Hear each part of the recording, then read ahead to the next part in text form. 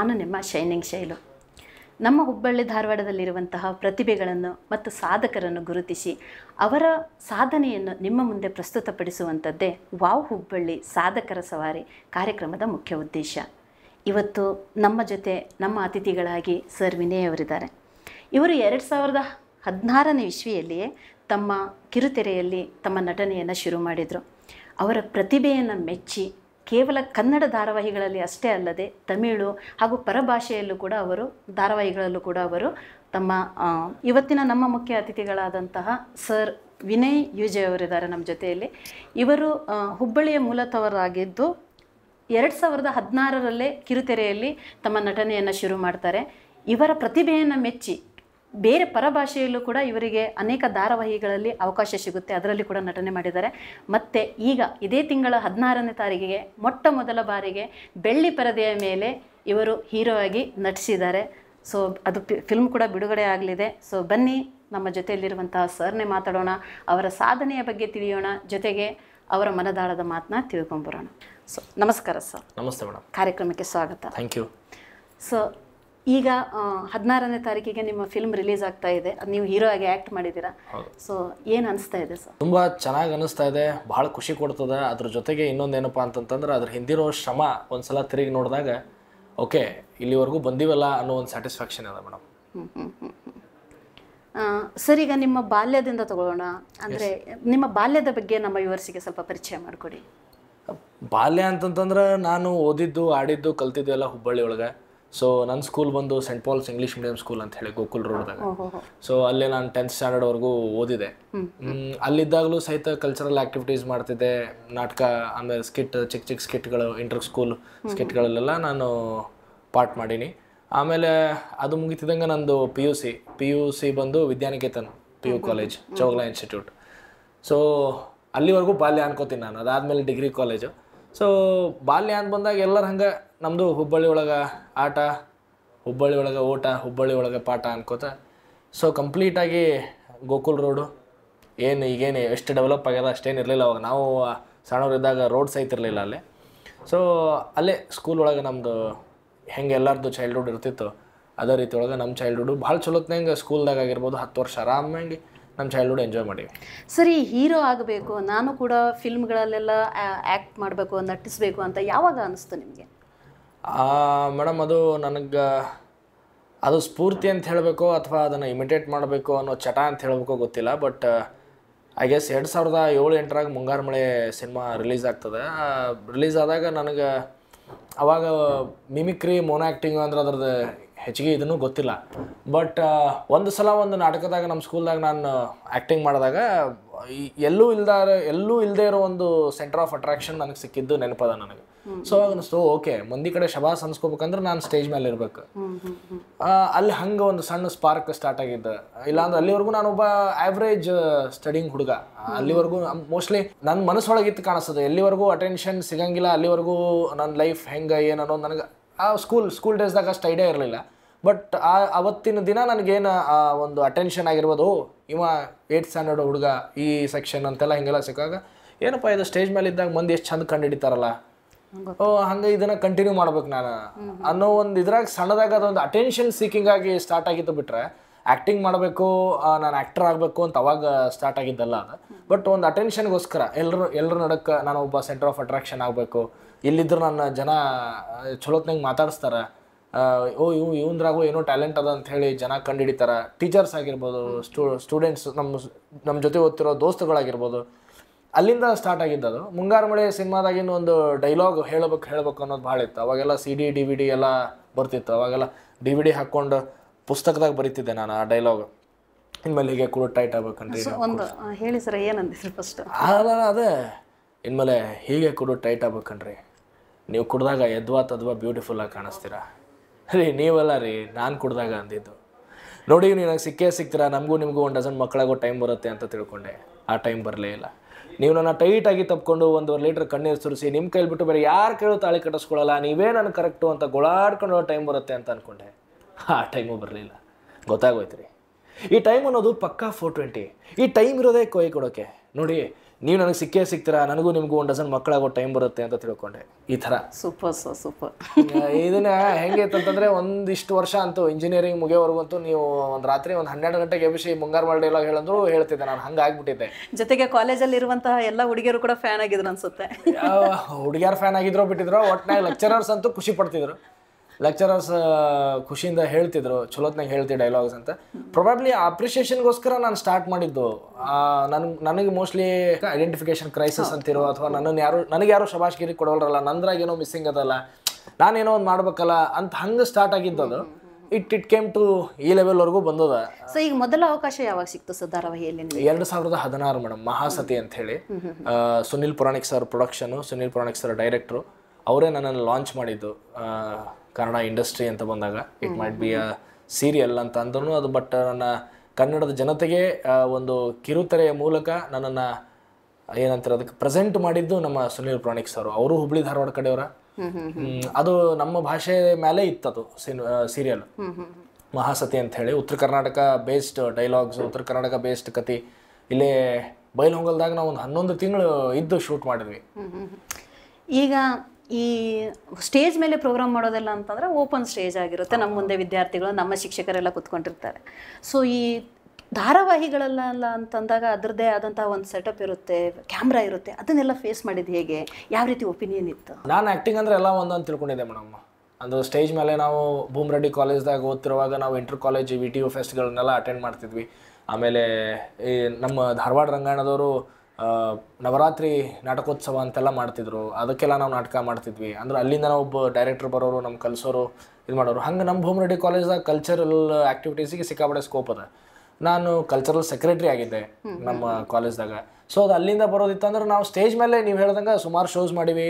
Rangayana directors ಕಡೆಯಿಂದ ಅಂದ್ರೆ ಅಲ್ಲಿ ರಂಗಾಯಣದಾಗ ಧಾರವಾಡ ರಂಗಾಯಣದಾಗ ಯಾರ್ಯಾರು ಡೈರೆಕ್ಟರ್ಸ್ ಇರ್ತಿದ್ರು ನಾಟಕ ಡೈರೆಕ್ಟ್ ಮಾಡಲಿಕ್ಕೆ ಸುಮಾರು ಜನ ನಮಗೆ ಬಂದು ನಮ್ಮ ಕಾಲೇಜ್ದಾಗ ಡೈರೆಕ್ಟ್ ಮಾಡ್ಯಾರ. ನನ್ನ ಪ್ರಕಾರ ಹಂಗೆ ಅಂದ್ಕೊಂಡಿದ್ದೆ ಬಟ್ ಸೀರಿಯಲ್ಗೆ ಹೋದಾಗ ಅದಕ್ಕೆ ಅದರದೇ ಆದಂತಹ ಮ್ಯಾನರಿಸಮ್ ಬೇಕಾಗ್ತದೆ ಕ್ಯಾಮ್ರಾ ಸೆನ್ಸ್ ಬೇಕಾಗ್ತದೆ.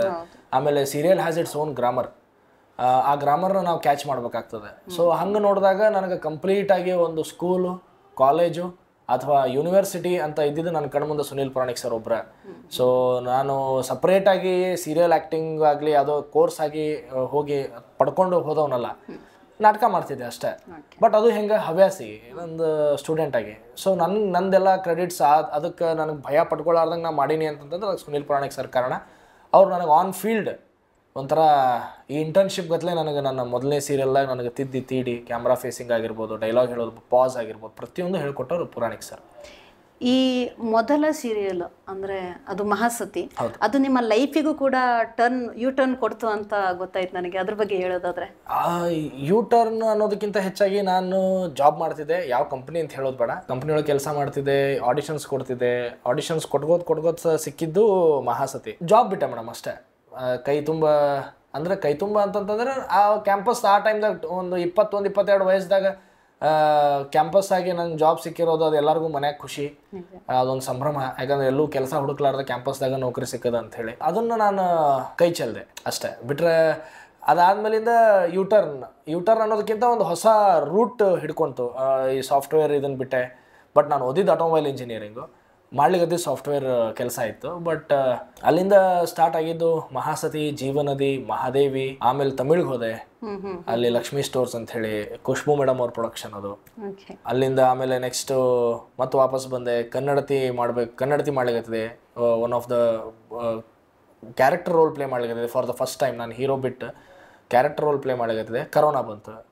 ಸೊ ಅವಾಗಿಂದ ಅಂತೂ ಬ್ಯುಸಿನೇ ಇದ್ದೀನಿ ಹಂಗೇನಿಲ್ಲ. ಕರೋನಾ ಬಂದಾಗ ಎಲ್ಲರೂ ಎರಡು ವರ್ಷ ಮನ್ಯಾಗ ಕೂತಿದ್ರೆ ನಾನು ಮನ್ಯಾಗ ಕೂತಿದ್ದೆ ಅನ್ನೋದು ಬಿಟ್ರೆ ಟಿಲ್ ಕರೋನಾ ನಾನು ಆರಾಮಾಗಿ ಇಂಡಸ್ಟ್ರಿ ಒಳಗೆ ಬ್ಯುಸಿಯಾಗಿ ಸರ್ವೈವ್ ಆಗ್ಲಿಕ್ಕೆ ಅಲ್ಲಿಂದ ಈ ನನಗೆ ಇನ್ನೂ ಒಂದು ವಿಷಯ ಗೊತ್ತಾಯಿತು. ನೀವು ಮಹಾಸತಿ ಧಾರಾವಾಹಿಯಲ್ಲಿ ನಟಿಸಿರುವಂತಹ ನಾಯಕಿಯನ್ನೇ ಮದುವೆ ಆದ್ರಿ ಅಂತ. ಸೊ ನಿಮ್ಮ ಫ್ಯಾಮಿಲಿ ವಿಷಯ ಕೇಳೋದಾದ್ರೆ. ನನ್ನ ಹೆಂಡತಿ ಐಶ್ವರ್ಯ ಅಂತ ಹೇಳಿ ಆಕಿನೂ ಮೂಲತಃ ಧಾರವಾಡದಕ್ಕೆ. ಧಾರವಾಡ ಲಕ್ಷ್ಮೀನಗರ್ ವಿದ್ಯಾಗಿರಿ ಏನಂತೀರಿ ಅಲ್ಲೇ. ನನ್ನ ಜೊತೆಗೆ ಅಂದ್ರೆ ನಮ್ದು ಉತ್ತರ ಕರ್ನಾಟಕ ಸೀರಿಯಲ್ ಆಗಿರೋದ್ರಿಂದ ಆಲ್ಮೋಸ್ಟ್ ಆಲ್ ಇಲ್ಲಿಯವರ ಕಲಾವಿದರಿದ್ರು ಆ, ಅಲ್ಲಿ ಸೊ ಪರಿಚಯ ಆಗಿದ್ದು ಐಶ್ವರ್ಯ ಐಶ್ವರ್ಯ ಸಾಲಿಮಠ್ ಅಂತಿದ್ಲು. ಈಗ ನನ್ನ ನನ್ನ ಹೆಸರು ಇಟ್ಕೊಂಡಾಳ ಐಶ್ವರ್ಯ ವಿನಯ್ ಅಂತ ಹೇಳಿ ಸೊ ಅಲ್ಲಿಂದ ಸ್ಟಾರ್ಟ್ ಆಗಿದ್ದು ನಮ್ಮ ಒಡನಾಟ. ಅಕ್ಕಿ ಅದ್ರಾಗ ಸೆಕೆಂಡ್ ಹೀರೋಯಿನ್ ಸ್ವಲ್ಪ ನೆಗೆಟಿವ್ ಶೇಡ್ ಇರೋ ಕ್ಯಾರೆಕ್ಟರ್ ಅಲ್ಲೇ ಆಕೆಗೆ ನನ್ನ ಜೊತೆ ಮದುವೆ ಆಗ್ಬೇಕಾಗಿರ್ತದ ಆಗಂಗಿಲ್ಲ ಸೀರಿಯಲ್ದಾಗ ಬಟ್ ನಿಜ ಜೀವನದಾಗ ಆಗ್ತದೆ. ಸೊ ಅಲ್ಲಿಂದ ಸ್ಟಾರ್ಟ್ ಆಗಿದ್ದು ಅದಾದ್ಮೇಲೆ ಆಕಿನ ಲೈಫ್ ಕರಿಯರು ಆಗಿರ್ಬೋದು. ಆಕಿ ಇಮಿಡಿಯೇಟ್ ಆಫ್ಟರ್ ಮಹಾಸತಿಗೆ ಅಗ್ನಿಸಾಕ್ಷಿ ಸೀರಿಯಲ್ ಸಿಕ್ತು. One of the top rating serial ಇತ್ತು ಅವಾಗ ಹೀರೋಯಿನ್ ತಂಗಿ ಪಾತ್ರ ಮಾಡ್ತಿದ್ಲಕಿ ತನು ಅಂಥೇಳಿ.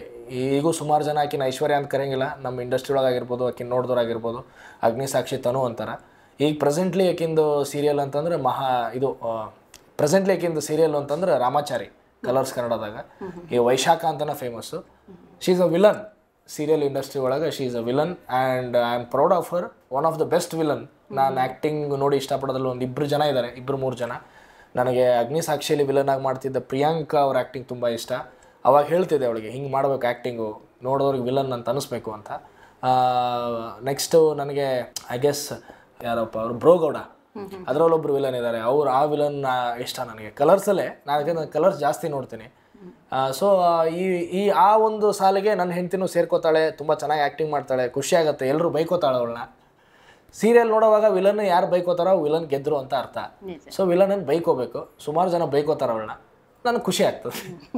ಚಲೋ ಆಕ್ಟಿಂಗ್ ಮಾಡ್ಲಿಕ್ಕೆ ಆ, ಸರ್ ಈಗ ನೀವು ಇಂಜಿನಿಯರ್ ಫೀಲ್ಡಲ್ಲಿದ್ರಿ ಆಲ್ರೆಡಿ ಜಾಬ್ ಎಲ್ಲ ಸಿಕ್ಕಿತ್ತು ಒಳ್ಳೆ ಪೇಮೆಂಟ್ ಎಲ್ಲ ಇತ್ತು ಆ ಟೈಮಲ್ಲಿ ನೀವು ಕಿರುತೆರೆಗೆ ಈ ಸೈಡ್ ಹೆಜ್ಜೆ ಇಟ್ರಿ.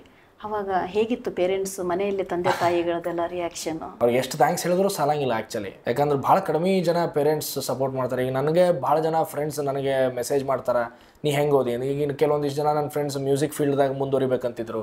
ಕೆಲವೊಂದಿಷ್ಟು ಜನ ಬೇರೆ ಫೀಲ್ಡ್ದಾಗ ಮುಂದುವರಿಬೇಕಂತಿದ್ರು. ಬಟ್ ಫ್ಯಾಮಿಲಿ ಸಪೋರ್ಟ್ ಇರಲಿಲ್ಲ. ಈಗ ಅಲ್ಲ ಇದು ನಮ್ಮಂತಹ ಊರೊಳಗೆ ಏನಾಗ್ತದೆ ಅಂದ್ರೆ ಸಮಸ್ಯೆ ಜಾಸ್ತಿ ಎಕ್ಸ್ಪೋಸರ್ ಇರೋಂಗಿಲ್ಲ. ನಾವು ಒಂದು ಸಂಗೀತ ಕಲಿಬೇಕು ಅಂತಂದ್ರೆ ಈಗ ಸಂಗೀತ ಕ್ಲಾಸಸ್ಸು ಡ್ಯಾನ್ಸ್ ಕ್ಲಾಸಸ್ಸು ಒಂದಿಷ್ಟು ಜಾಸ್ತಿ ಆಗ್ಯಾವ ಅನ್ನೋದು ಬಿಟ್ರೆ ಎರಡು ಸಾವಿರದ ಆರು, ಏಳು, ಎಂಟು, ಒಂಬತ್ತು ಆ ಇದ್ರಾಗ ಎಲ್ಲೋ ಒಂದು ಕಡೆ ನಡೆಯೋದು. ಅವಾಗ ಗಂಗೂಬಾಯಿ ಹನ್ಗಲ್ ಫೌಂಡೇಶನ್ ಅವ್ರದ್ದು ಒಂದೇ ಇತ್ತು. ಅಂದ್ರೆ ಡೆಡಿಕೇಟೆಡ್ ಆಗಿ ಕಲಿಸೋ ಹಂಗೆ ಸಂಗೀತ ಆಗಿರ್ಬೋದು ಕಲ್ಚರಲ್ ಆ್ಯಕ್ಟಿವಿಟೀಸ್ ಆಗಿರ್ಬೋದು. ಬಟ್ ನನಗೆ ಟಿಲ್ ಟುಡೇ ಅನಿಸ್ತದೆ. ಆ ಕೊರತೆ ನಮ್ಮ ಹುಬ್ಬಳ್ಳಿ ಧಾರವಾಡದಾಗ ಅದ. ಅಂದ್ರೆ ಜನ ಕಲ್ಚರಲ್ ಆ್ಯಕ್ಟಿವಿಟೀಸ್ಗೆ ಅಷ್ಟು ಮಹತ್ವ ಕೊಡೋಂಗಿಲ್ಲ ಅಂಥೇಳಿ ಬಟ್ ಅಂಥ ಸಂದರ್ಭದಾಗ, ಸರಿ ನಿನಗೆ ಏನು ಅನಿಸ್ತದೆ, ನೀನು ಅದನ್ನು ಮಾಡು ಅಂತ ಆಶೀರ್ವಾದ ಮಾಡಿದಂಥ ನನ್ನ ತಂದೆ ತಾಯಿಗೆ ನಾನು ಯಾವಾಗಲೂ ಚಿರಋಣಿಯಾಗಿರ್ತೀನಿ ಇವತ್ತಿನವರೆಗೂ ಅವ್ರು ನನಗೆ ಅದನ್ನು ಮಾಡು ಇದನ್ನು ಮಾಡು ಅಂತ ಹೇಳೋದವ್ರಲ್ಲ, ನಿನಗೆ ಏನು ಇಷ್ಟ ನೀನು ಅದನ್ನು ಮಾಡು ಅಂತ ಹೇಳ್ಯಾರ. ಪ್ರೊಬಾಬ್ಲಿ ನಾನು ಯಾವಾಗಲೂ ಜೋಕ್ ಮಾಡ್ತಿರ್ತೀನಿ. ಮಗನ, ನಾವು ಕಷ್ಟಪಟ್ಟು ದುಡಿದ್ವಿ, ಈಗ ನೀನು ಆರಾಮಾಗಿ ಮಜಾ ಮಾಡತ್ತೆ ಅಂತ ಹೇಳ್ತಾರೆ. ನಾನು ಯಾವಾಗ ಜೋಕ್ದಾಗ ಹೇಳ್ತಿರ್ತೀನಿ, ನೀವು ಪಡ್ಕೊಂಬಂದಿದ್ದು ಅದು, ನಾ ಪಡ್ಕೊಂಬಂದಿದ್ದು ಇದು ಅಂಥೇಳಿ ಬಟ್ ನಾ ಪಡ್ಕೊಂಬಂದಿದ್ದು ಭಾಳ ಪುಣ್ಯ ಮಾಡಿ ಬಂದೀನಿ. I am very much fortunate to have such parents in my life Prabhavati Uday ಅಂಥೇಳಿ ಇಬ್ಬರು ನಮ್ಮ ತಂದೆ ತಾಯಿ. ಅವ್ರಿಗೆ ನಾನು ಎಷ್ಟು ತಂದೆ ತಾಯಿಗೆ ಥ್ಯಾಂಕ್ಸ್ ಹೇಳಲಿಕ್ಕೆ ಆಗಂಗಿಲ್ಲ ಮೇಡಮ್. ನಾವು ಅದನ್ನು ಅವ್ರು ಚಲೋತ್ನಾಗ ನೋಡ್ಕೋಬೇಕಷ್ಟೇ. ನೀವು ಈ ಪ್ರಶ್ನೆ ಕೇಳಬಾರ್ದಾಗಿತ್ತು ನಾನು ಸುಮ್ಮನೆ ಎಮೋಷ್ನಲ್ ಆಗ್ಬಿಡ್ತೀನಿ. ಥ್ಯಾಂಕ್ ಯು ಥ್ಯಾಂಕ್ ಯು ಅಪ್ಪಾಜಿ ಥ್ಯಾಂಕ್ ಯು ಅಮ್ಮ. ಯಾಕಂದ್ರೆ ಭಾಳ ಮ್ಯಾಟ್ರ್ ಆಗ್ತದೆ. ಫ್ಯಾಮಿಲಿ ಸಪೋರ್ಟ್ ಭಾಳ ಮ್ಯಾಟ್ರ್ ಆಗ್ತದೆ ಪ್ರತಿಭೆಗಳಿದ್ದಾರೆ. ನಮ್ಮ ಸುತ್ತ ಭಾಳ ಜನ ಪ್ರತಿಭೆಗಳಿದ್ದಾರೆ. ನಾವು ಕಾಲೇಜಲ್ಲಿ ಓದ್ಬೇಕಾದ್ರೆ ನೋಡ್ಬೇಕು. ಎಂತೆಂಥ ಪ್ರತಿಭೆಗಳಿದ್ದಿರ್ತಾವೆ. ಬಟ್ ಅವ್ರಿಗೆ ಅವಕಾಶ ಸಿಗಲ್ಲ ಮುಂದೆ ಬರಲಿಕ್ಕೆ. ಬಟ್ ಕೆಲವೊಮ್ಮೆ ಪೇರೆಂಟ್ಸ್ಗಳು ಯಾವುದೋ ಒಂದು ಕಾರಣಾಂತರಗಳಿಂದ ಇರುತ್ತೆ. ಬಟ್ ನಿಮಗೆ ಆ ಒಳ್ಳೆಯ ಆಪರ್ಚುನಿಟಿ ಇತ್ತು ನಿಮ್ಮ ತಂದೆ ತಾಯಿ ರಾಯರ ಆಶೀರ್ವಾದ ಮೇಡಮ್ ನಾನು ರಾಯರನ್ನ ಭಾಳ ನಂಬ್ತೀನಿ. ನಿಜ. ರಾಘವೇಂದ್ರ ಸ್ವಾಮಿಗಳ ಆಶೀರ್ವಾದ ಇಲ್ಲಿವರೆಗೂ ಬಂದದ. ಫೆಬ್ರವರಿ ಹದಿನಾರಕ್ಕೆ ನಮ್ಮ ಅದೃಷ್ಟ ಪರೀಕ್ಷೆ. ಅದೃಷ್ಟ ಅಂತ ಹೇಳಲಿಕ್ಕೆ ಹೋಗಿಲ್ಲ ನಾನು. ಹೌದು ನನಗೆ ಆ ವಿಷಯದ ಬಗ್ಗೆ ಕೇಳಬೇಕಿತ್ತು ಸರ್. ಈಗ ಇದೇ ತಿಂಗಳ ಹದಿನಾರಕ್ಕೆ ನಿಮ್ಮ ಮೊಟ್ಟ ಮೊದಲ ಬಾರಿಗೆ ನೀವು ಹೀರೋ ಆಗಿ ಆಕ್ಟ್ ಮಾಡ್ತಾ ಇದ್ದೀರಿ. ಹೀರೋ ಅಂತ ಹೇಳಿಕ್ ಬರಂಗಿಲ್ಲ ಮೇಡಮ್. ಅಂದ್ರೆ ಏನಂದ್ರೆ ಕತೆ ಓರಿಯೆಂಟೆಡ್ ಸಿನಿಮಾ ಶಾಖಾಹಾರಿ. ನಾನು ಅದನ್ನ ಹೇಳಲಿಕ್ಕೂ ಇಷ್ಟಪಡಂಗಿಲ್ಲ. ಇತ್ತೀಚೆಗೆ ಏನಾಗ್ಬಿಡೋದು ಅಂತಂತಂದ್ರೆ ಹೀರೋ ಅಂತಂದ್ರೆ ಒಂದು ಮೂರು ಫೈಟು ನಾಲ್ಕು ಡುಯೆಟ್ ಸಾಂಗು. ಈ ಥರದ್ದು ಒಂದಿಷ್ಟು ಯೋಚನೆಗಳು ನಮ್ಮಲ್ಲವ. ಬಟ್ ಈಗ ಸಿನಿಮಾದ್ದು ವೇಗ ಏನದ ಸಿನಿಮಾದ್ದು ಪಾತ್ ಏನದ ಚೇಂಜ್ ಆಗ್ಲಿಕ್ಕತ್ತದ ಮೇಕಿಂಗ್ ಆಗಿರ್ಬೋದು ಕತೆ ಓರಿಯೆಂಟೆಡ್ ಸಿನಿಮಾಗಳು. ಈಗ ನಮ್ಮ ರವಿಚಂದ್ರನ್ ಸರ್ ದೃಶ್ಯ ಮಾಡಿದಾಗ ಹೆಂಗೆ ಅನ್ನಿಸ್ತು ಹೌದಲ್ಲಪ್ಪ ರವಿಚಂದ್ರನ್ ಸರ್ ಇಂಥ ಕತೆನೂ ಮಾಡ್ತಾರ? ಯಾಕಂದ್ರೆ ಲವರ್ ಬಾಯ್ ಆಗಿ ಅವರು ಮೂವತ್ತೈದು ವರ್ಷ ಮೆರೆದವರು ಒಂದು ಕ್ಯಾರೆಕ್ಟರ್ ಆರ್ಟಿಸ್ಟ್ ಆಗಿ ರವಿಚಂದ್ರನ್ ಸರ್ ತೋರಿಸ್ಕೊಂಡಾಗ ಎಷ್ಟು ಜನ ಇಷ್ಟಪಟ್ಟರು ಅವ್ರನ್ನ? ಸೊ ನಾನು ಮುಂದೆ ಮಾಸ್ ಹೀರೋ ಆಗ್ತೀನೋ ಅಥವಾ ಯಾವ ಹೀರೋ ಆಗ್ತೀನೋ ನನಗೆ ಗೊತ್ತಿಲ್ಲ. ಅದು ಹಣೆ ಬರಕ್ಕೆ ಬಿಟ್ಟಿದ್ದು but I want to be a good actor ಕ್ಯಾರೆಕ್ಟರ್ನ ಹೋಲುವಂಥ ಒಂದು ನಾನು ಜವಾಬ್ದಾರಿನ ಹೆಗಲ್ ಮೇಲೆ ಹೊತ್ಕೊಂಡು ಆ ಕ್ಯಾರೆಕ್ಟರ್ ಸಿನಿಮಾ ಮುಗಿಯೋವರೆಗೂ ಹೌದಪ್ಪ ಇವ ವಿನಯ ಅಲ್ಲ ಆ ಕ್ಯಾರೆಕ್ಟ್ರು ಅಂತ ಅನಿಸಿದ್ರೆ ಸಾಕು. ಸೊ ಶಾಖಾಹಾರಿ ಒಳಗೂ ಅಂಥದ್ದು ಒಂದು ದೊಡ್ಡ ಪಾತ್ರ ನಾನು ಮಾಡ್ಲಿಕತ್ತೀನಿ.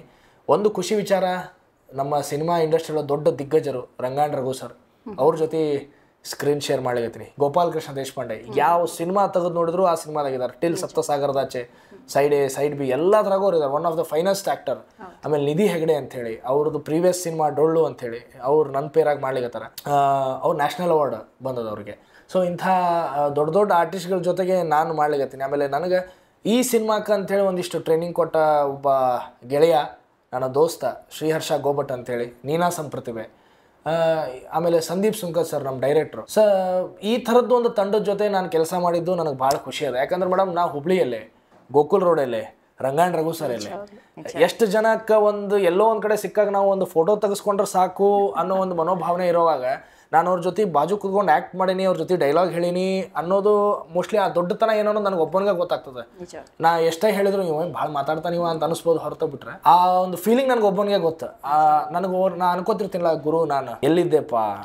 ಗೋಕುಲ್ ರೋಡ್ ಎಲ್ಲೇ ಹುಬ್ಬಳ್ಳಿಯಲ್ಲೇ ನಾಲ್ಕುನೂರ ಇಪ್ಪತ್ತೈದು ಕಿಲೋಮೀಟರ್ ಬೆಂಗಳೂರಲ್ಲಿ ಅಂಥದ್ರಾಗ ನಾ ಇಂಥವ್ರ ಜೊತೆ ಎಲ್ಲ ಆ್ಯಕ್ಟಿಂಗ್ ಮಾಡ್ಲಿಕತ್ತೀನಿ ಸ್ಕ್ರೀನ್ ಶೇರ್ ಮಾಡ್ಲಿಕ್ಕೆ ಅನ್ನೋದು ನನಗೆ ಖುಷಿ ಅದ ಮೇಡಮ್ ನಿಜವಾಗ್ಲೂ. ಈಗ ಬೆಳೀತಾ ಇದ್ದೀರಾ ಇನ್ನೂ ಎತ್ತರ ಮಟ್ಟಕ್ಕೆ ಬೆಳೀರಿ. ಥ್ಯಾಂಕ್ ಯು ಥ್ಯಾಂಕ್ ಸೊ ನನಗೆ ಇದೊಂದು ಕ್ವಶನ್ ಕೇಳಬೇಕಿತ್ತು. ನೀವು ಇಂಜಿನಿಯರೇ ಆಗಿ ಇದ್ದಿದ್ದಿದ್ರೆ ಸಪೋಸ್ ಆ ಸ್ಟಡಿ ಅದೇ ಫೀಲ್ಡಲ್ಲೇ ಮುಂದೋಗಿದ್ದಿದ್ರೆ ಹೇಗೆ ಅನಿಸ್ತಿತ್ತು? ಅಥವಾ ಇವತ್ತು ನಿಮಗೆ ಇರುವಂತಹ ಇವೆರಡರಲ್ಲಿ ನಿಮಗೆ ಕರೆಕ್ಟಾಗಿ ನಾನು ಈ ಫೀಲ್ಡ್ನ ಚೂಸ್ ಮಾಡಿದೆ ಅನಿಸುತ್ತಾ? ನನ್ನ ಜೀವನ ಹೆಂಗದ ಅಂತಂತಂದ್ರೆ, ನಾನಾಗಿ ತೊಗೊಂಡಿರೋ ಡಿಸಿಷನ್ಸ್ಗಿಂತ ನನಗೆ ಬೇರೆಯವ್ರು ಹೇಳಿ, ನೀನು ಹಿಂಗೆ ಮಾಡು, ನಿನಗೆ ಒಳ್ಳೇದಾಗ್ತದ ಅಂತ ಹೇಳಿದ್ದನ್ನು ನಾನು ಕಣ್ಮುಚ್ಚಿ ನಂಬಿನಿ. ಇಲ್ಲಿ ಇನ್ನೊಬ್ಬರ ಹೆಸರು ತೊಗೋಬೇಕು ನಾನು. ಸಂಕೇತ್ ಪೂಜಾರ್ ಅಂತ ಹೇಳಿ, ನನ್ನ ನನ್ನ ಇಂಜಿನಿಯರಿಂಗ್ ಕಾಲೇಜ್ ಮೇಟ್ ನಾನು ಪುಣೆದಾಗ ಇಬ್ಬರು ಅವ್ರ ಜೊತೆನೇ ಇರ್ತಿದ್ದೆ. ಅವ ಅಂದಿದ್ದ ಮಾತು ನಾನು ಇವತ್ತು ರಿಪೀಟ್ ಮಾಡ್ತೀನಿ. ನೀವು ಕೇಳಿದ ಪ್ರಶ್ನೆಗೆ ಬಾ, ಅಗದಿ ಕರೆಕ್ಟ್ ಆನ್ಸರ್ ಅಂದ್ರೆ ಅದು. ಅವ ಅಂದ, ನಮಗೆ ಬೇರೆ ಬೇರೆ ತಲೆಯಾಗಿಲ್ಲ ದೋಸ್ತ. ನಾವು ನೌಕರಿ ಮಾಡ್ಬೇಕು, ನೌಕರಿ ಮಾಡ್ತೀವಿ, ಪಗಾರ ತಗೋತೀವಿ ಓಕೆ ಬಟ್ ನಿನ್ನ ತಲೆಯಾಗ ಏನೋ ಇನ್ನೊಂದೇನೋ ಅದ. ನಾನು ಅದನ್ನ ಆಗ್ಬೇಕು, ಇದನ್ನ ಆಗ್ಬೇಕು ಅಂಥೇಳಿ ಸೊ ಆ ರೀತಿ ಒಳಗೆ ನೀವು ಹಂಗೆ ಯೋಚನೆ ಮಾಡ್ಬೇಕಾದ್ರೆ ಇನ್ನೊಂದು ಹತ್ತು ವರ್ಷ, ಹದಿನೈದು ವರ್ಷ ಬಿಟ್ಟು ನೀ ಹಿಂತಿರುಗಿ ನೋಡಿದಾಗ, ಛೇ, ನಾನು ಅದನ್ನು ಒಂದು ಸಲ ಟ್ರೈ ಕೊಡಬೇಕಾಗಿತ್ತು. ನಾನು ಟ್ರೈ ಕೊಟ್ಟಿದ್ದಿಲ್ಲ ಅಂತಂತಂದ್ರೆ ನಾನು ಹಿಂಗೆ ಇರ್ತಿರಲಿಲ್ಲ. ಮೋಸ್ಟ್ಲಿ ನೌಕರಿ ಮಾಡ್ತಿರ್ತೀನಿ ಅನ್ನೋದು ಬಿಟ್ಟರೆ ನಾನು ನಾವು ಹೇಳ್ದಂಗೆ ಅದ್ರ ಬಗ್ಗೆ ನಾನು ಕ್ರಿಬ್ ಮಾಡ್ತಿದ್ದೆ. ಮಾಡ್ಬೇಕಾಗಿತ್ತೇನೋ ಇಲ್ಲಾಂದ್ರೆ ನಾವು ಚಟಕ್ಕೆ ಇಲ್ಲೊಂದು ತಂಡ ಕಟ್ಟಿ ಹವ್ಯಾಸಿ ರಂಗಭೂಮಿ ಅಂತೇಳಿ ನಾವು ಮಾಡ್ಕೊಂಡು, ನಮ್ಮ ಅಂದ್ರೆ ನಾವು ಸಾಧಿಸ್ಲಿಕ್ಕೆ ಆಗಂಗಿಲ್ಲ ಅಂತಲ್ಲ, ಯಾವ ಟೈಮ್ದಾಗ ನಿಮ್ಮ ಜೀವನದಾಗ ಏನು ತಿರುವು ಕೊಡ್ತದೆ ಗೊತ್ತಿಲ್ಲ. ಫಾರ್ ಅದಕ್ಕೆ ಬೆಸ್ಟ್ ಎಕ್ಸಾಂಪಲ್ ಅಂದ್ರೆ ನಮ್ಮ ರವಿಶಂಕರ್ ಸರ್ ಮೂವತ್ತು ಮೂವತ್ತು ವರ್ಷ, ಇಪ್ಪತ್ತೈದು ವರ್ಷ ಅವರು ಡಬ್ಬಿಂಗ್ ಆರ್ಟಿಸ್ಟ್ ಆಗಿ ಬಂದರು. ನಮ್ಮ ಸುದೀಪ್ ಸರ್ ಒಂದು ಸಲ ಚಾನ್ಸ್ ಕೊಟ್ಟರೆ he is a big villain in Kannada ಇಂಡಸ್ಟ್ರಿಗೆ ಸೊ ಇವು ನೆವರ್ ನೋ ಯಾವ ಏಜ್ದಾಗ ನಿಮ್ಗೆ ಏನು ಬರ್ತದೆ ಅಂತೇಳಿ ಬಟ್ ಕೆಲವೊಂದಿಷ್ಟು ಮಾತುಗಳು ನನ್ನ ಜೀವನನ ಟರ್ನ್ ಮಾಡ್ಯಾರ ಅವ್ನು ಹೇಳಿದ ಮಾತನ್ನ ಸೀರಿಯಸ್ ಆಗಿ ತೊಗೊಂಡೆ. ನನ್ನ ಫ್ರೆಂಡ್ ಸಂಕೇತ್ ಹೇಳಿದ ಮತ್ತು ಹೌದು ಕರೆಕ್ಟ್ ಅನ್ನಿಸ್ತು ಅವ ಮಷ್ಕಿರಿಗೆ ಹೇಳಿದ್ನೋ, ಏನು ಹೇಳಿದ್ನೋ ನನಗೆ ಇನ್ನೂ ಗೊತ್ತಿಲ್ಲ. ಅವನಿಗೂ ನೆನಪಿಲ್ಲ ಈ ಮಾತು, ಅವ್ನು ನೆನಪಿರ್ತದೋ ಇಲ್ಲೋ ಅದು ಗೊತ್ತಿಲ್ಲ. ಈ ಇಂಟರ್ವ್ಯೂ ನೋಡಿದ ಮೇಲೆ ಅವ್ನು ಹೇಳ್ಬೇಕು ಅದನ್ನ. ಸೊ ಸಮಥಿಂಗ್ ಅಲ್ಲೇ ಅವ ಹೇಳಿದ ಮಾತು ಟ್ರಿಗರ್ ಆಯಿತು. ಹೌದಲ್ಲ, ಮಾಡೋಣ ಅಂತೇಳಿ. ಏನು ಕಳ್ಕೊಳ್ಳೋದಿರಲಿಲ್ಲ. ರಿಸ್ಕ್ ತೊಗೊಳೋದಿರಲಿಲ್ಲ. ಅಪ್ಪ, ಅಮ್ಮ ಸಾಥ್ ಕೊಟ್ಟರು ಸೊ ಇಂಜಿನಿಯರ್ ಆಗೇ ಉಳ್ಕೋತಿದ್ದೆ ಮೇಡಮ್ ನಾನು ಇಂಜಿನಿಯರಿಂಗ್ ಬಂದಿದ್ದೆ ಅಂದ್ರೆ ನಾನು ಯಾವ ಕೆಲಸನೂ ನಾನು ನಿಯತ್ಲೆ ಮಾಡ್ತೀನಿ. ಅದು ನಂಬಿಕೆ ನನಗಿತ್ತು. ಸೊ ಅದನ್ನು ಮಾಡ್ಕೊಂಡು ಹೋಗ್ತಿದ್ದೆ ಏನೋ, ಗೊತ್ತಿಲ್ಲ. ಸೊ ಈಗ ಪುನಃ ನಾವು ಈಗ ಹದಿನಾರಕ್ಕೆ ಮೂವಿ ರಿಲೀಸ್ ಆಗ್ತಾ ಇದೆ ನಿಮ್ಮದು ನಿಮ್ಮ ಮೂವಿ ಬಗ್ಗೆ ನಮ್ಮ ವೀಕ್ಷಕರಿಗೆ ಹೇಳೋದಾದ್ರೆ. ವೀಕ್ಷಕರಿಗೆ ಕೈ ಮುಗಿದು ಕಣ್ಣು ಮುಚ್ಚಿ ತಲಿಬಾಗಿ ಕೇಳ್ಕೊಳ್ಳೋದೇನು ಅಂತಂದ್ರೆ ನಿಮ್ಮ ಊರಿನ ಹುಡುಗ ಅಂದ್ರೆ ಇದೇ ಗೋಕುಲ್ ರೋಡ್ದಾಗ ಇದೇ ಕೆ ಎಂ ಸಿ ರೋಡ್ದಾಗ ಇಲ್ಲೇ ವಿದ್ಯಾನಿಕೇತನ್ ಕಾಲೇಜು ಇಲ್ಲೇ ಭೂಮರೆಡ್ಡಿ ಕಾಲೇಜ್ದಾಗ ಇದೇ ರೋಡ್ದಾಗ ಓಡಾಡ್ತಿರುವಂಥ ಹುಡುಗ ಬೆಂಗಳೂರಿಗೆ ಹೋಗಿ ಏನೋ ಸಾಧನೆ ಮಾಡಬೇಕು ಅಂದ್ರೆ ಏನು ದೊಡ್ಡ ಸಾಧನೆ ಅಂತ ನಾ ಹೇಳಿಕ್ಕೆ ಹೋಗಿಲ್ಲ. ಇದನ್ನು ನನ್ನ ಮೊದಲನೇ ಮೆಟ್ಲು ಈ ಮೊದಲನೇ ಮೆಟ್ಲಿಗೆ ನೀವು ಕೈ ಹಿಡಿದು ಎತ್ತಬೇಕು ನನ್ನ. ನೀವು ದಯವಿಟ್ಟು ಬಂದು ಸಿನಿಮಾ ಥಿಯೇಟ್ರ್ ಒಳಗೆ ಸಿನಿಮಾ ನೋಡ್ರಿ. ಆ, ಟೆಲಿಗ್ರಾಮ್ದಾಗ ಏನೋ ಒಂದು ಪೈರಸಿ ಬರ್ತದೆ, ಅದನ್ನು ಕ್ಲಿಕ್ ಮಾಡಿ ನೋಡ್ಲಿಕ್ಕೆ ಹೋಗ್ಬೇಡ್ರಿ. ಒ ಟಿ ಟಿಗೆ ಬರಲಿ ಓ ಟಿ ಟಿಗೆ ಬಂದಮೇಲೆ ನೋಡಿದ್ರೆ ಅಥವಾ ಒಂದು ಅಮೆಝಾನು ನೆಟ್ಫ್ಲಿಕ್ಸು ಇನ್ನು ಮಿಕ್ಕಿದ್ದು ಎಲ್ಲ ಒ ಟಿ ಟಿಗೆ ಕಾಯ್ಲಿಕ್ಕೆ ಹೋಗ್ಬೇಡ್ರಿ. ಯಾಕಂತಂದ್ರೆ ಒಂದು ಸಿನಿಮಾ ಮಾಡಬೇಕು ಅಂತಂದ್ರೆ ಒಂದು ನೂರರಿಂದ ಇನ್ನೂರು ಜನರ ಶ್ರಮ.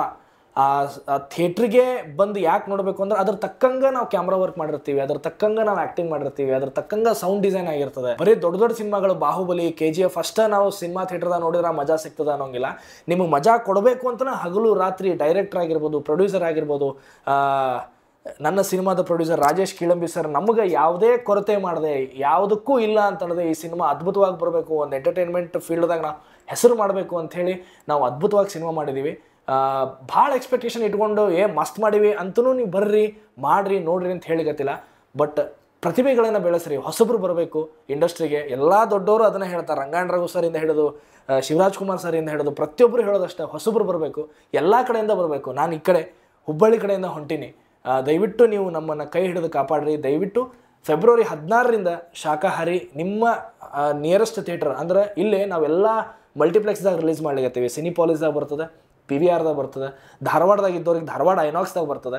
ಅದ್ಭುತವಾಗಿ ಮಾಡಿದೀವಿ. ಆ ನಂಬಿಕೆ ನನಗದ. ನೀವು ಟ್ರೇಲರ್ ನೋಡಿಲ್ಲ ಅಂತಂದ್ರೆ ಶಾಖಾಹಾರಿ ಕನ್ನಡ ಟ್ರೇಲರ್ ಅಂತ ಯೂಟ್ಯೂಬ್ದಾಗ ಸರ್ಚ್ ಮಾಡಿದ್ರೆ ಅದು ಸಿಗ್ತದೆ. ಒಂದ್ಸಲ ಟ್ರೇಲರ್ ನೋಡ್ರಿ.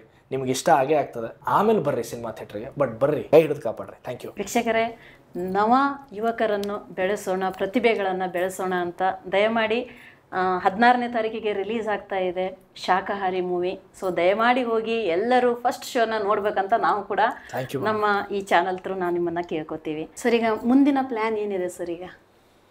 ಈಗ ಸಿನಿಮಾ ನೋಡಿದವರು ಹುಬ್ಳಿ ಧಾರವಾಡದವ್ರು ಯಾರ್ಯಾರು ಪ್ರೊಡ್ಯೂಸರ್ ಇದ್ದೀರಿ ದಯವಿಟ್ಟು ನಮಗೆ ಪ್ರೊಡ್ಯೂಸ್ ಮಾಡ್ರಿ ಅಂತ ಕೇಳ್ಕೊತೀನಿ ನಾನು ಅಷ್ಟೇ. ಮುಂದಿನ ನಡೆ ಅಂದ್ರೆ ಮೇಡಮ್ ಈಗ ಅದು ಏನು ಪ್ಲ್ಯಾನ್ ಇರಂಗಿಲ್ಲ. ನಾ ಈ ಸಿನಿಮಾ ಮಾಡ್ಬೇಕು ಅನ್ನೋದು ಪ್ಲ್ಯಾನ್ ಇರಲಿಲ್ಲ. ಎಲ್ಲ ಕೂಡಿ ಬಂದಿದ್ದು ಬಟ್ ನಾನು ಏನು ಕೇಳ್ಕೊಳ್ಳೋದು ಅಂತಂದ್ರೆ ಪ್ರಾಮಿಸಿಂಗ್ ತಂಡಗಳು ಅಂತ ಯಾವ ಇರ್ತಾವೆ? ಒಂದು ಸಿನಿಮಾ ಮೇಕಿಂಗ್ ಇದಕ್ಕೆ. ನಾನು ಕಂಡಿದ್ದೇನು ಅಂತಂತಂದ್ರೆ ನಮ್ಮ ಕಡೆಯವ್ರು ಪ್ರೊಡ್ಯೂಸರ್ಸ್ ಭಾಳ ಮಂದಿ ಇದ್ದಾರೆ ನಮ್ಮ ಕಡೆಯವ್ರು ಸಾವುಕಾರ ಮಂದಿ ಭಾಳ ಭಾಳ ಇದ್ದಾರೆ ಬಟ್ ಏನಾಗ್ತದೆ ಅಂತಂದ್ರೆ ಯಾವುದೋ ಒಂದು ಕೆಟ್ಟ ತಂಡನ ನಂಬಿ, ಕೆಟ್ಟ ತಂಡ ಅಂತಲ್ಲ, ಏನೋ ಒಂದು ಕೆಟ್ಟ ಎಕ್ಸ್ಪೀರಿಯನ್ಸ್ ಪಾಪ ಯಾರ ಸಿನಿಮಾ ಮಾಡ್ಬೇಕಂತಂದ್ರೂ ನಾವು ಕೆಟ್ಟ ಸಿನಿಮಾ ಮಾಡ್ಬೇಕು ಅಂತ ಇದುವರೆಗೂ ಯಾರೂ ಇಂಡಸ್ಟ್ರಿಗೆ ಬರಂಗಿಲ್ಲ. ಪ್ರತಿಯೊಬ್ಬನು ನಾನು ಚಲೋ ಸಿನಿಮಾ ಮಾಡ್ಬೇಕಂತಲೇ ಇಂಡಸ್ಟ್ರಿಗೆ ಬರ್ತಾನೆ. ಅದು ಕೆಟ್ಟ ತಂಡ ಅಂತ ಅನ್ನಂಗಿಲ್ಲ ಒಂದು ಯಾವುದೋ ಒಂದು ಕೆಟ್ಟ ಎಕ್ಸ್ಪೀರಿಯನ್ಸ್ ಎಲ್ಲೋ ಒಂದು ಕಡೆ ರೊಕ್ಕ ಹಾಕಿರ್ತಾರೆ ಎಲ್ಲೋ ಒಂದು ಕಡೆ ರೊಕ್ಕ ಕಳ್ಕೊಂಡಿರ್ತಾರೆ. ಅದಕ್ಕೆ ಅವ್ರಿಗೆ ಭಯ ಆಗ್ಬಿಡ್ತದೆ ಹೊಸ ತಂಡ ಅಂದಾಗ ಏನಪ್ಪ ಏನು ಕತೆ ಅಂತ ಹೇಳಿ. ಬಟ್ ನಾನು ಹೇಳೋದೇನು ಅಂತಂದ್ರೆ ಯಾರು ಅಂಟಿಲ ನನ್ಲೆಸ್ ಪ್ರೂವ್ ಮಾಡ್ಕೊಳ್ಳಲ್ಲ ನನಗೂ ಗೊತ್ತದ ಅದು. ಪ್ರೂವ್ ಮಾಡ್ಕೊಳ್ಳೋವರೆಗೂ ನಾವು ಅವ್ರಿಗೆ ಏನು ಕೇಳಕ್ಕೆ ಹೋಗಿಲ್ಲ. ಬಟ್ ಈ ಥರ ಸಿನಿಮಾಗಳು ಬಂದಾಗ ಶಾಖಾಹಾರಿ ಅಂತ ಸಿನಿಮಾ ನಮ್ಮ ಹುಬ್ಳಿ ಧಾರವಾಡ ಪ್ರೊಡ್ಯೂಸರ್ಸ್ ಯಾರ್ಯಾರು ಇದ್ದೀರಿ ನಮಗೆ ಸಪೋರ್ಟ್ ಮಾಡುವಂಥವ್ರು ದಯವಿಟ್ಟು ಸಿನಿಮಾ ಬಂದು ನೋಡ್ರಿ. ಸಿನಿಮಾ ನೀವು ನಮಗೋಸ್ಕರ ಮಾಡ್ಕೊಳ್ಬೇಕು ನಾವೇನೋ ಕತಿ ಬರ್ಕೋತೀವಿ, ನಾವೇನೋ ಡೈರೆಕ್ಟ್ ಮಾಡ್ತೀವಿ ಅನ್ನೋದಲ್ಲ. ನಮ್ಮ ಪ್ರೊಡ್ಯೂಸರ್ ಅಂದ್ರೆ ಈಗ ನಮ್ಮ ರಾಜೇಶ್ ಕೀಳಂಬಿ ಸರ್ ನಮ್ಮನ್ನು ನಂಬಿದ್ರು. ಅವ್ರು ನಂಬಿದ್ದಕ್ಕೆ ಸಿನಿಮಾ ಆತ. ಇಲ್ಲಾಂದ್ರೆ ನಾನಾಗಲಿ, ಸಂದೀಪ್ ಸರ್ ಆಗಲಿ ಆ ಕತ್ತಿನ ಇಟ್ಕೊಂಡು ನಾವು ಆಫೀಸ್ದಾಗ ಕುತ್ಕೋಬೇಕಾಯ್ತು, ಮನ್ಯಾಗ ಕುತ್ಕೋಬೇಕಾಯ್ತು ಅನ್ನೋದು ಬಿಟ್ರೆ ಅದಕ್ಕೆ ಜೀವ ತುಂಬರ ಏನಿದ್ರು ನಿರ್ಮಾಪಕರು. ಆ ನಿರ್ಮಾಪಕರು, ಅನ್ನದಾತರು ನಮ್ಮನ್ನು ಕೈ ಹಿಡಿಬೇಕು. ಈ ಕಡೆ ಪ್ರತಿಭೆ, ನಿಮಗೇನು ಅನಿಸ್ತದೆ ನೀವು ಅದನ್ನು ಬೆಳೆಸ್ರಿ ಅಂತ ನಾನು ಕೇಳ್ಕೊತೀನಿ ಅಷ್ಟೇ. ಮುಂದಿನ ನಡೆ ಏನಿದ್ರು ಸಿನಿಮಾ ನೋಡಾದ್ಮೇಲೆ ಪ್ರೊಡ್ಯೂಸರ್ಸಿಗೆ ಬಿಟ್ಟಿದ್ದು ಒಳ್ಳೆ ಸಕ್ಸಸ್ ಆಗಲಿ ಸರ್ ತುಂಬ ಉತ್ತಮ ಮಟ್ಟದಲ್ಲಿ ರಿಸಲ್ಟ್ ಒಳ್ಳೆ ರಿಸಲ್ಟ್ ಬರಲಿ. ಇನ್ನೂ ಹೆಚ್ಚಿನ ಅವಕಾಶಗಳು ನಿಮಗೆ ನಿಮ್ಮ ಜೀವನದಲ್ಲಿ ಬ ಸಿಗಲಿ.